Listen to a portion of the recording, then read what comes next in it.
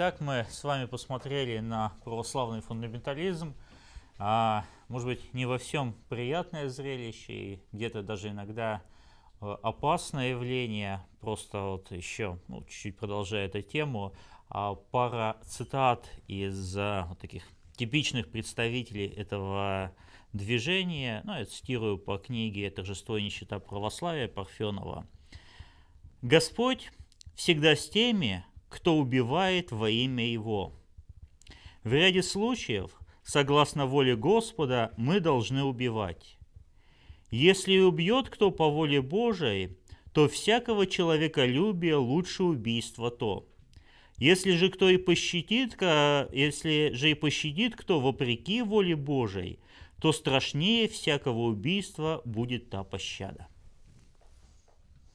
Ну, это может быть некоторые крайние проявления, но тем не менее такой вот э, готовность убивать во имя Христа и призывы к убийству во имя Христа, ну или, может быть, чуть э, более мягко, э, каким-то наказанием во имя Христа, это типично в этой среде. Кстати, очень любят ссылаться на Иоанна Златоуста. Э, самое, наверное, популярная цитата из Иоанна Златоуста, тысячи раз в последнее время повторяемая, будто бы Иоанн Златоуст написал всего одну фразу, звучит так. «Но раз у нас зашла теперь речь о хуле, то я хочу просить всех вас об одной услуге взамен этой речи и рассуждения. Именно, чтобы вы унимали в городе тех, кто богохульствует. Если ты услышишь, что кто-нибудь на распутье или на площади хулит Бога, Подойди, сделай ему внушение. И если нужно будет ударить его, не отказывайся, ударь его по лицу, сокруши уста, освети руку твою ударом. И если обвинят тебя, повлекут в суд, иди. Так что вот освященная словами Иоанна Златоуста, призыв сокрушать уста, ну или где-то вот там убивать, да, вот, э, может быть, не так часто пока реализуется, но тесная связь православия с националистическими движениями, там, с фашистскими движениями и так далее, вот, вот в фундаментализме э, вызывает определенные переживания и опасения. Но традиционализм не всегда такого фундаменталистского толка. Есть такой более умеренный, спокойный традиционализм. И вот об обычном православном традиционализме мы поговорим. Первое его проявление – это то, что иногда называют э, богослов... парижским богословием, иногда называют неопатристическим синтезом. А, это проявление традиционализма, такого богословского традиционализма, очень тесно связано с русской миграцией. Когда православная церковь оказалась в эмиграции, я говорил о том, что многие профессора богословия оказались в эмиграции, и там в эмиграции создавали богословские институты, создавали семинарии, и там в эмиграции они вынуждены были строить некое православное богословие, способное вести диалог и способное как, э, к некой апологетике перед лицом западного мира, то вот там прежде всего они обратились к византийскому варианту православия и прежде всего к поздневизантийскому православию. А здесь можно назвать э, имена таких православных богословов, как Георгий Флоровский, как Владимир Лоский, а, которые увлеченно изучали поздневизантийское богословие и которые в этом богословии видели синтез всего до предыдущего православного богословия и православного опыта.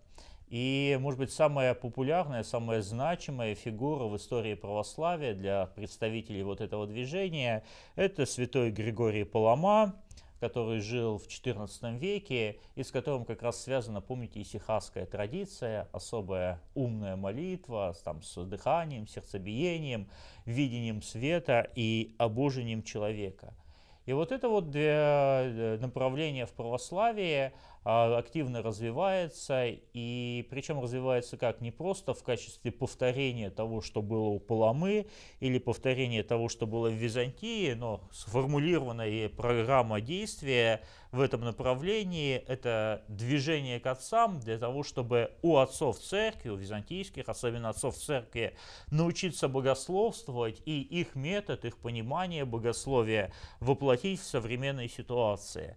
Поэтому это движение достаточно часто называют движение, как в кавычках, вперед к отцам.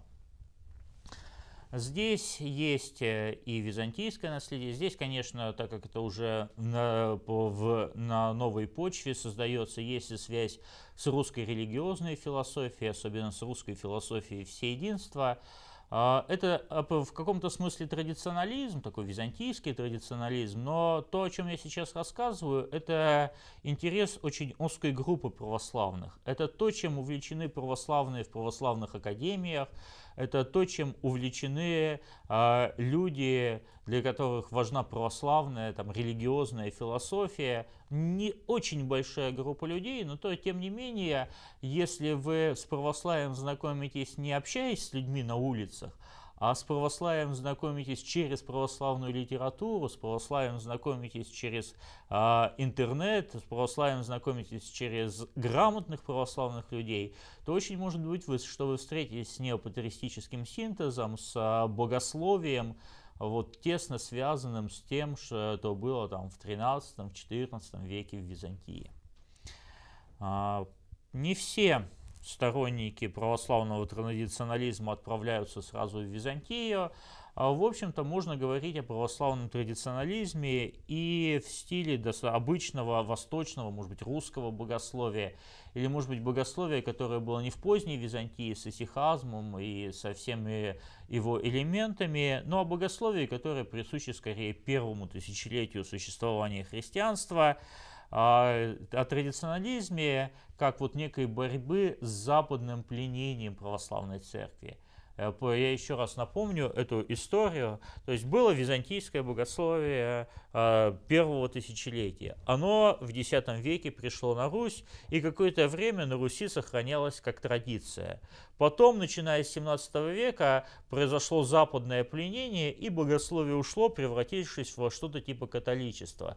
Теперь православные пытаются возродить то, что было до этого западного пленения. Многие сознают факт этого западного пленения. Есть некая целенаправленная борьба с западным пленением. И вот богословие, создающееся вот в рамках этой борьбы, Богословие тоже академическое, тоже в такой же академической среде, в основном встречающееся, как и неопатристический синтез, но, может быть, более присущее не западной богословской школе, типа там парижской, например, но присущее московской богословской школе, оно оно есть, и опять-таки, если говорить о литературном православии, о книжном православии, то наверняка и с таким православием вы столкнетесь. Можно здесь, может быть, назвать профессора Осипова из Московской академии, а, который достаточно много пишет, много выступает, много говорит на тему православия, достаточно талантливый оратор. И что любопытно, к нему очень неоднозначное отношение в православной среде. Некоторые его превозносят и восхищаются им, но так как это традиционализм, но традиционализм не дореволюционный, не традиционализм времен западного пленения, а традиционализм такой вот восходящий там а, к первому тысячелетию существования христианства, то для некоторых Осипов выглядит как отступник. И православные фундаменталисты, например, Осипова очень не любят, все время его ругают. Поэтому вот э, такое внутреннее напряжение в православии, оно все время присутствует. Но опять-таки важно помнить, знакомясь с православием по книгам, вы познакомитесь, скорее всего, с Лоским, с Осиповым, а, с Флоровским, с Мейндорфом и с другими вот такими богословскими традиционалистами. А выходя на улицу и знакомясь с православием там, вы познакомитесь с какими-то фундаменталистами и националистами. Два разных православия, если хотите, существует в академической и в народной среде. Ну и раз мы уже заговорили о традиционализме, то можно, наверное, отметить, э, что существует не только богословский традиционализм, а существует еще и такой традиционализм бытовой, просто как сложившийся уровень. Э, сложившийся образ жизни, как сложившиеся церковные службы, когда люди, может быть, без каких-то маргинальных, странных, там, фундаменталистских идей, просто приходят в церковь, просто участвуют в богослужении, просто вот слушают литургию, а, совершают то, что от них требуется. Здесь вот э, есть э, большая толика просто здравого смысла, даже а не богословия.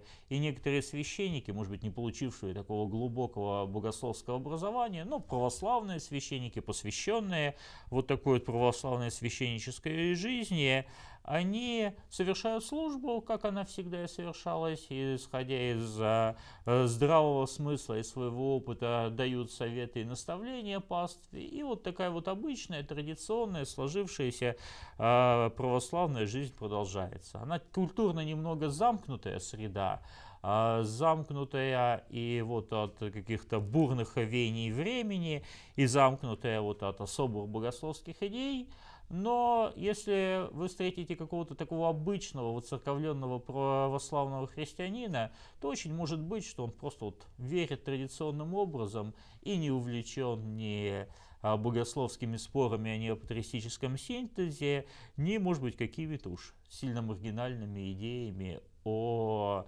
а, там, не знаю, соискупителе Николае II или каких-то национальных вещах.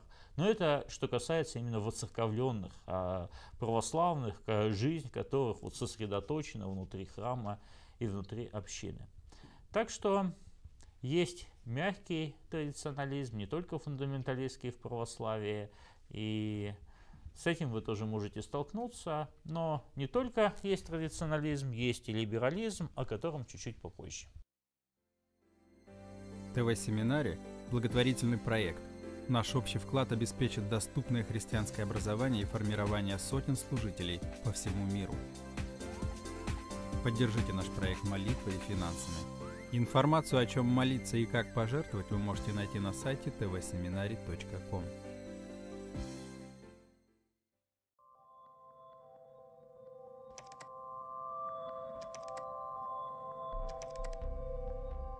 Ищите нас в поисковых системах по запросу ТВ-семинарий.